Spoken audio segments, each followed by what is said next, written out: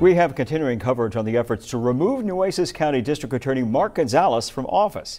County commissioners have now selected attorney Matt Manning to represent Gonzalez in the civil suit seeking his removal.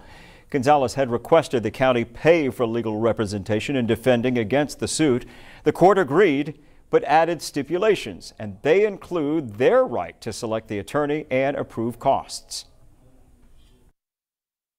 I'm disappointed that I would have to make a list of who they would want to pick for me to be my legal counsel. I've been sued twice.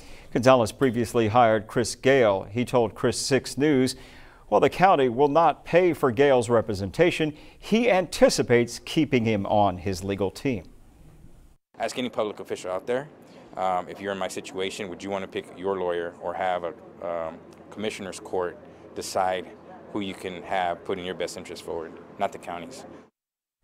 Among the motion unanimously approved by the court in hiring Manning, Gonzalez must negotiate a reasonable rate and submit a budget for the court's approval.